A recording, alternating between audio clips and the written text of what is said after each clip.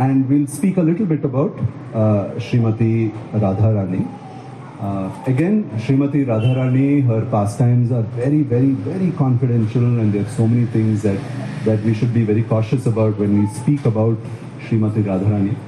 Uh, a little bit about the birth of Srimati Radharani, or the appearance rather of Srimati Radharani. It's very mysterious. Like many times when uh, Mother Lakshmi appears, she doesn't appear like a ordinary child uh, from the womb of a mother. She just appears like Sita Devi. When Sita Devi appeared, did she appear from the womb of a mother? No. Yeah. From earth, correct? So similarly, Srimati Radharani also. Now Radharani, when she was uh, Vrishabhanu, the father of Radharani, uh, before uh, Radha appeared, he did not. They did not have a child. Kirtida was the mother of uh, Radharani, and one day he goes to the Yamuna to take a dip in Yamuna, and while he is taking a dip, he sees a big lotus flower, a golden lotus flower floating towards him. What would we do if a golden lotus flower comes? We take it immediately, sell it off, correct? because we understand the importance of gold. But not Vrishabhanu. He saw this golden lotus floating towards him and he was mesmerized. He said, What, what is this? Never seen a golden lotus before. And it was a big lotus, you know, bigger than usual. And it was covered. And he, op- he goes close to that and he opens the petals of this lotus and he sees a baby, a radiant baby, you know, beautiful baby girl inside that lotus. And uh, for a couple who don't have children, you know, for them, uh, just loo- looking at, he thought, is this the Lord giving me a blessing? But then he said, no, no, it is not right. It, this child maybe belongs to someone else. So he picked up the child and it cannot be in the water. What if the lotus topples, baby falls? So he just carried the baby, brought her out of the water and uh, he was looking around for miles and miles. There's nobody there. And then he was just sitting there waiting that maybe the mother would come, maybe somebody it belongs to someone, they may come. But he got an inspiration in his heart that she wants to be with you. So take her home. She is now your daughter. Thankfully, those days they did not have so many legal formalities and all that like we have today, papers, government. So they had, so Vrishabhanu, he took her back to his house, hmm, his mansion, palace. So uh, they go back there and Kirtida is also very happy to have her. So beautiful, the baby was so beautiful. Now, it was wonderful, but there was there were also a little mixed feelings because it seemed like there was something wrong with the baby because the baby's eyes were clo- closed and normally a baby would make noise right because that's the sign of babies they would make noise they would cry they would do so many things no uh, but if a baby is not making noise then it seems there is something wrong so uh, uh, he was holding the baby but the baby was moving it was certainly alive it was showing symptoms of being alive but not a single sound, no crying, no baby noises, cooing like a baby, nothing, and even eyes are closed. So they tried, you know, opening the petals of the eyes, nothing. Eyes are closed. They, they were happy, but they also had mixed feelings. So they put the baby in the cradle. And um, festivals happened, they celebrated it, all that happened. They, but they, in their heart, they, they were still a little, you know, feeling something. So one day, Narad Muni himself appears. When Narad Muni himself appears, it's a great celebration because he's a Deva Rishi. So everybody said Narad Muni himself has appeared and they worshipped him, they washed his feet, they did all of that. And uh, Narad Muni asked, All of you seem happy, but in your heart you also seem a little sad. What happened? So they explained, This is what is going on. Narad Muni says, Okay, take me to the baby. So uh, they take Narad Muni to the baby. Narad Muni sees her and immediately realizes who she is. So he says, Give me some time. All of you leave the room. Give me some time with her.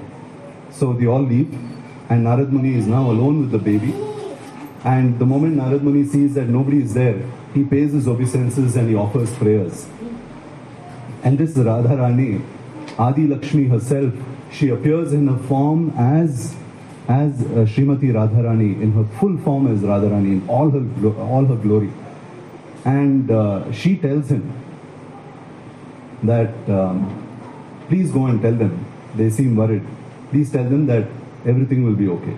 It's only a matter of time, and everything will be okay. And Radharani gives him some instructions also. And after this particular instructions, there is a very famous prayer. Um, you know, maybe one day we can get that book here.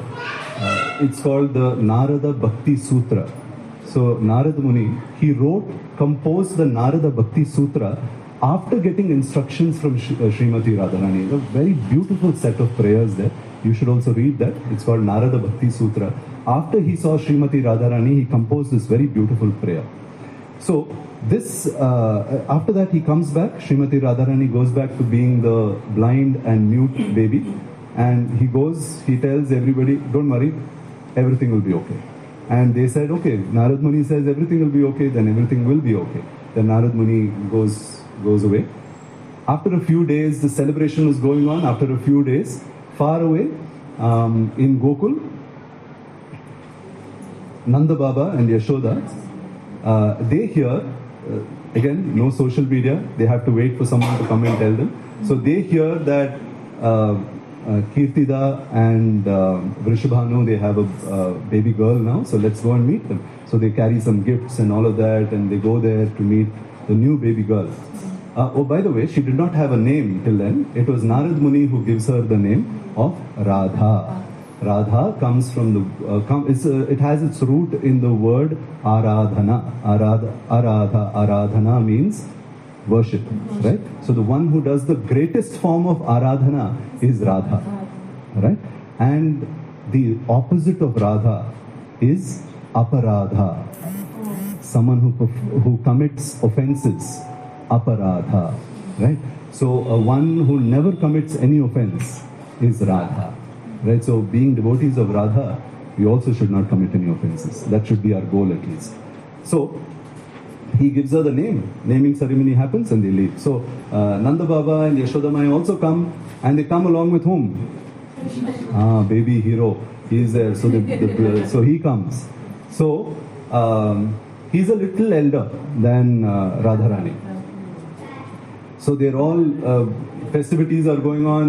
Children are playing just like the children here, you know, running around. Now, when children they can't sit in one place, they all keep roaming around here and there. So even Krishna was like that. He couldn't sit in one place. They said, yeah, she's sleeping there, and you know, so baby sleeping. Nobody disturbs the sleeping baby. So she's sleeping there. Let's not disturb her. She's in the next room. But Krishna couldn't tolerate. So Krishna went while uh, the elders are not watching. He's going zigzag, zigzag here, there, here, there. Finally, enters the room and he goes and uh, he pulls the cradle and he looks at her like that right? And the moment he looks at her she immediately opens her eyes.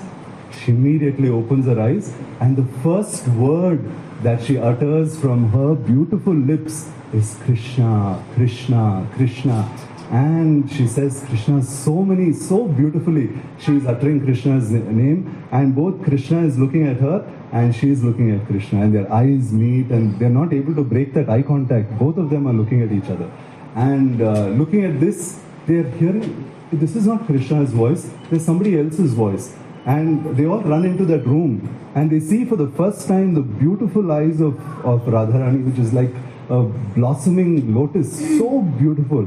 And for the first time, she's, she's smiling, she's happy, she's laughing, she's giggling only because of Krishna.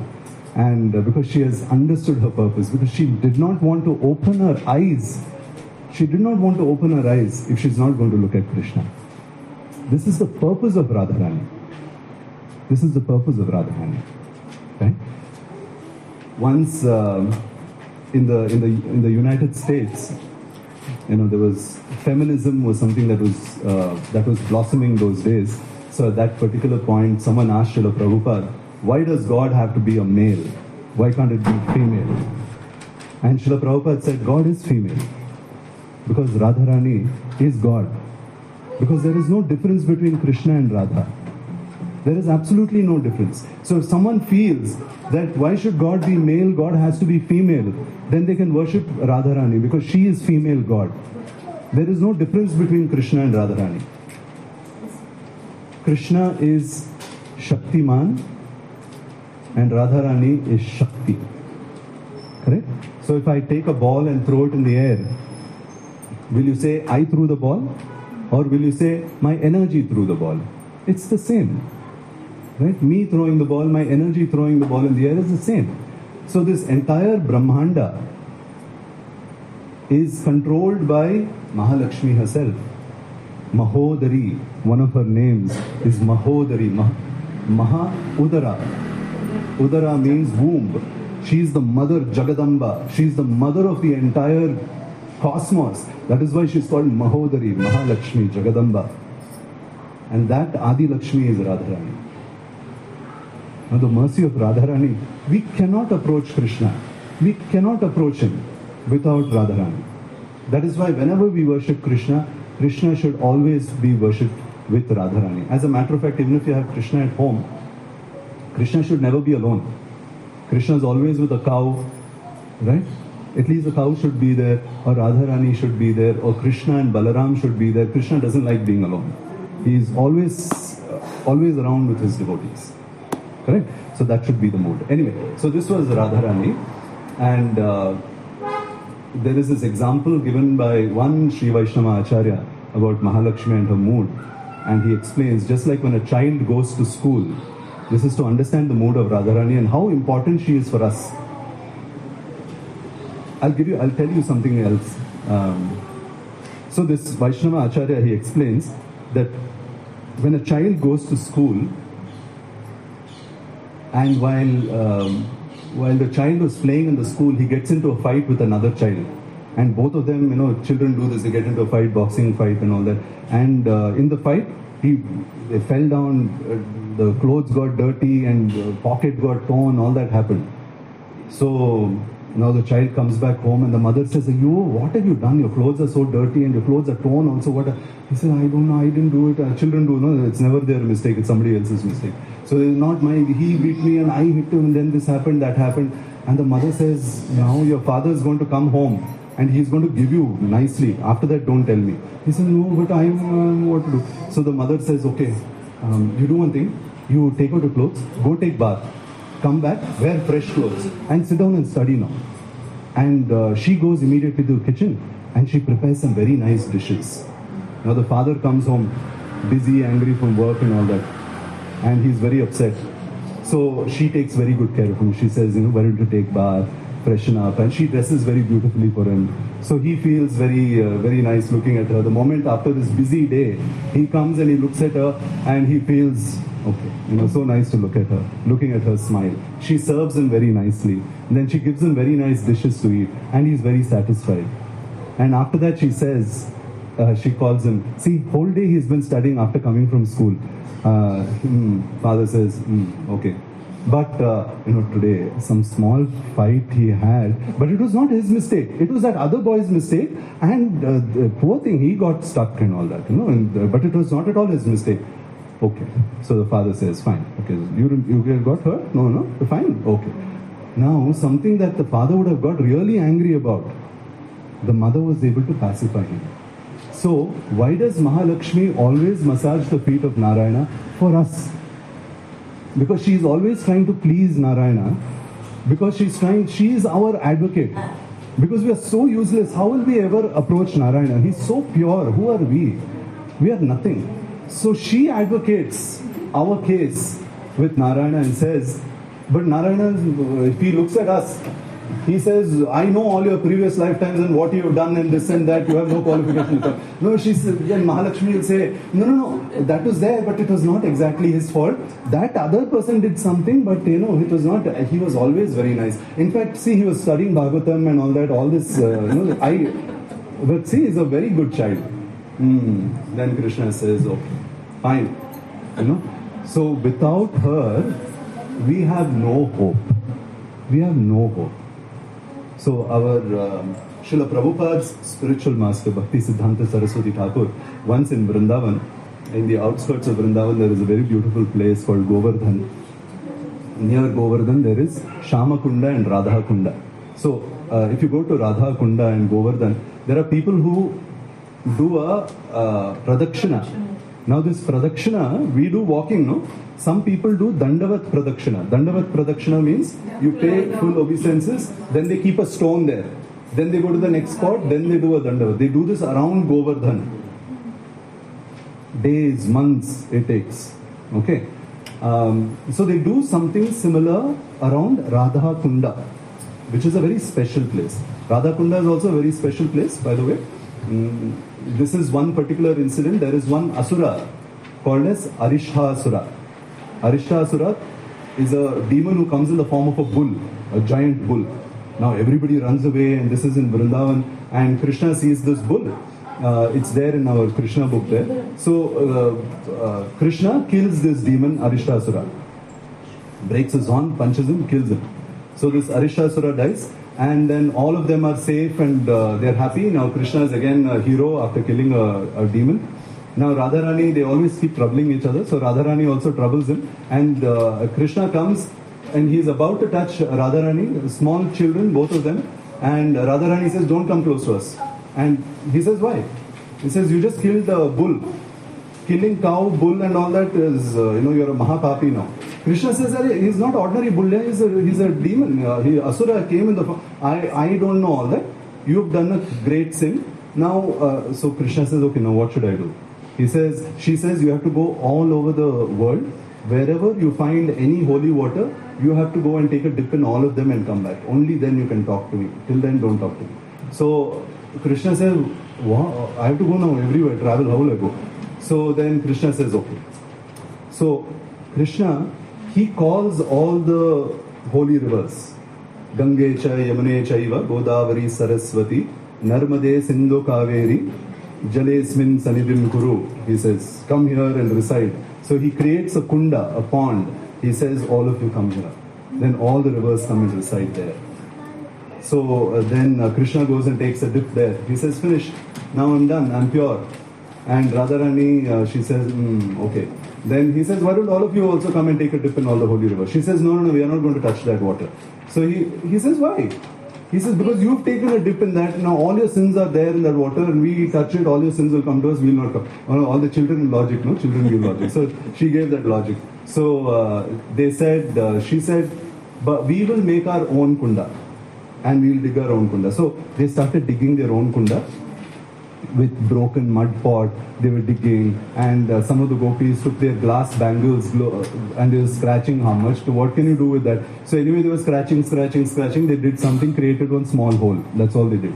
And uh, there is another uh, pond called as Manasi Ganga which is a little away. When you go to Vrindavan you can go and see that. So from there which is quite far away. So all these gopis small girls they formed a long line and with pots of water. From that, they were passing on the pot of water, uh, one girl to the other, and finally coming to this kunda, and they were pouring it into the kunda. This would have taken eternity for them to make the kunda. So, looking at this, Krishna watched for some time. He said, uh, "This will never happen." So then he also he again he invited all the holy rivers, right? He called all of them and he said, I want you to especially reside in this Radha Kunda forever. You may reside in my waters or not, but you must reside always in Radha Kunda. So Radha Kunda is very special. So to, even today, when devotees, when we go to Vrindavan, we pay obeisances uh, to Radha Kunda and Shamakunda. We pay obeisances to Shamakunda, but you will all see that devotees are always very closely offering extra prayers to Radha Kunda more. We are more attached to Radha Kunda than Shamakunda. So very special place, though both of them are right next to each other. So this Radha Kunda, devotees say Dandavat Parikrama of that Radha Kunda alone because those waters of Radha, Radharani, uh, Radha Kunda are non-different from Radha herself. It's, it is said that that is liquid Radharani. It's a different form of Radharani. It's not different. That's why certain devotees take a dip. Some devotees, it's their personal choice. Some devotees don't even take a dip in Radha Kunda because they're so respectful they feel that uh, you know I, I I I'm just so filthy I don't belong there. So we only pay obeisances and uh, you know offer our prayers to Radha Kunda so that is Radha Kunda so when somebody was paying obeisance once a great devotee was once paying obeisances uh, somebody introduced that devotee to Bhakti Siddhanta Saraswati Thakur, Srila Prabhupada's spiritual master, and said, this person is a great devotee and he's done Dandavat Parikram. So uh, he asked him, why did you do this Dandavat Parikram? He said, because uh, if I do this, then Radharani will be pleased with me. And if Radharani is pleased, then she will introduce me to Krishna. So Bhakti Siddhanta Saraswati Thakur said, okay, very good. Nice devotee. And he goes away. So his disciple said, what a wonderful devotee. His mood is just like ours. Bhakti Siddhanta Saraswati Thakur said, no. His mood is not like ours. We don't please Radharani to approach Krishna. He says, we please Krishna to approach Radharani. We go the other way around. Because our goal is to approach Radharani. You see? So that is the original mood. And why do we serve Krishna? We serve Krishna because it pleases Radharani. Of course, it works both ways. But uh, when we serve Krishna, she is pleased, and because she is happy, that's the only way Krishna is happy. And that truly is our only hope. That is why when we chant also, we don't chant Krishna's name first. We chant the name of Hare. Hare is the name of Radharani. Okay, Hara. So, uh, um, Hari, Vishnu's name is Hari. What is the meaning of Hari? Hari, literal translation is lion. That is why uh, Lord Narsimha's name is Nara Hari. Right? Nara, human, Hari, lion. Nara, Hari. So Hari, now why is uh, uh, Vishnu called as Hari? Because he takes away the karma, takes away all the sinful activities that we have performed in many lifetimes. He takes it away just like a lion grabs the life of a deer, of a prey, uh, and it has no hope of living. Just like that, he grabs all our sinful activities and he burns it away. That is why he is called Hari. Uh, but he's also called Hari because he's a great thief, like I told you earlier. Uh, Krishna is the greatest thief. And Radharani is the only one who can steal the heart of that great thief. And because she steals his heart, she's also called as Hara. And a vocative like Radha, when you call out in Sanskrit, Radha, when you call her, it is Radhe. So Hara, when you call, when you ask, you're calling out to somebody, you say Hare. That is why we chant Hare Krishna, Hare Krishna, Krishna Krishna, Hare Hare. Hare Rama, Hare Rama, Rama Rama, Hare Hare. So in this way, we are calling out to her. We are saying, so the whole Mahamantra is actually a prayer to her, more than Krishna. We are praying to her saying that, O energy of the Lord, O dear Hare, please engage me in the service of your Krishna. He is not our Krishna, your Krishna. And she is going to advocate our case in front of Krishna. That is always her mood. She is the greatest of Vaishnavis. And one of the names of Mahalakshmi, Mahalakshmi is Shri. Shri, no? So why is she called as Shri? The root word of the of the name Shri comes from Shunu or um, hearing. Her speciality, her characteristic is hearing. When a devotee speaks, others may hear, may not hear. Krishna may hear, may not hear, but she will always hear. She always hears when a devotee speaks, even if you don't speak from your mouth, even if you're speaking from your heart, she will hear. If you have an intense desire to serve Krishna or to serve her in any way, she will hear. She's the only one who hears. Very carefully, she listens to every prayer from every heartbeat, uh, every uh, prayer that's emanating from a heartbeat. She hears it. That is why her name is Shri. Shri. And a great way to please her is to also know that just because she is advocating a great case, we shouldn't embarrass her with our bad characteristics. We should also work very hard so that our character is pure. This is called as Sheela. Sheela means characteristic. The Puranas explain what is Sheela, what is character of a person. We can say many things. So, how do you judge a character? Character means in a group of sajjana, of saintly people, of nice, good people, if you are able to openly tell what you have done,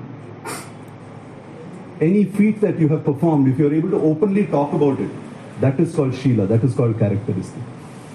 If someone has drunk some alcohol in a group of uh, good people, can you boast about it and say, yes, I drank some alcohol, or I did this, I did that. We, we won't be able to talk about it, no? Because there's a little bit of guilt and I shouldn't have done it, but I did it. You know, all that happens. Uh, so, uh, Sheela is very important. Our behavior is very important. Uh, living a very sattvika lifestyle is very important. It is said that Mahalakshmi, she closely, uh, it's a uh, long subject on its own, but just to encourage all of us to perform our sadhana very well. Uh, when Mahalakshmi emanated from where?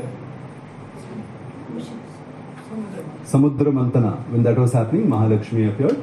And along with, after Mahalakshmi, there was another personality who- appeared, who was the sister of Mahalakshmi. Her name is Alakshmi. Right? Her Alakshmi. So all the mm, uh, anything that inauspicious happens happens because of Alakshmi. Okay, so they don't stay together. Whenever there is Mahalakshmi, Alakshmi is not there. Whenever Alakshmi comes, Mahalakshmi is not there. So whenever a person does not invite Surya Deva in the morning, when Surya Deva appears fast asleep, Alakshmi comes. All inauspiciousness comes. Alakshmi, whenever we think of Lakshmi, we only think of money because we see her photo, gold coins falling, we want it to come. Right? So, uh, Mahalakshmi is not only about money. Mahalakshmi is all the good health, all the good thoughts in our mind. Everything comes from Mahalakshmi. If Mahalakshmi is there, we will be healthy, we'll have good consciousness, we'll be able to serve Krishna very well. We'll live a very sattvika lifestyle. If Mahalakshmi is not there, then it's going to be Alakshmi. Alakshmi, with Alakshmi comes uh, unhygienic behavior, not taking bath, hmm, all these kind of behavior. So it's very important that we live a very sattvic lifestyle, take bath, okay? Um, of course, I'm, I'm just reiterating so that you can also tell this to your children. Uh, waking up early in the morning, chanting our rounds, um, changing flowers in your house for the deities, not keeping old flowers and all that. You know, change flowers. Uh, don't use plastic flowers. You know, these are all Kali Yuga things we do. Uh, uh, it's okay sometimes, I guess, for decoration outside your door or something, but never for the deities. These are all because of our laziness. Who's going to put flowers every day? So we'll put on plastic flower. Right? I've seen this in so many places. Uh, so this is not nice. Plastic comes from petroleum. It's very tamasic very very tamasic this is not how it's supposed to be Hmm? so uh, very important wake up early keep yourself fresh wear fresh clothes always uh, it's important not to have torn clothes and all that. You see in, in our vedic culture in india even if torn clothes are there a poor person who cannot afford new clothes they would put a patch of some other cloth and they would stitch it but not a torn cloth. But today we will pay extra money to buy torn jeans Correct? Yeah. Ex- extra money. That is, uh, regular jeans is little cheaper. More pairing, then more money you have to pay a little more extra. Correct? So, so these are all forms of Alakshmi. So let us become devotees of Mahalakshmi and devotees of that original Adi Lakshmi, as Srimati Radharani, and uh, pray to her so that we may all become wonderful devotees. Sorry, I took too much of your time. Um, I hope uh, there's something that we can take back uh, home from our discussion today. Srimati Radharani ki, Jai. Prabhupada ki, Jai. Hare Krishna.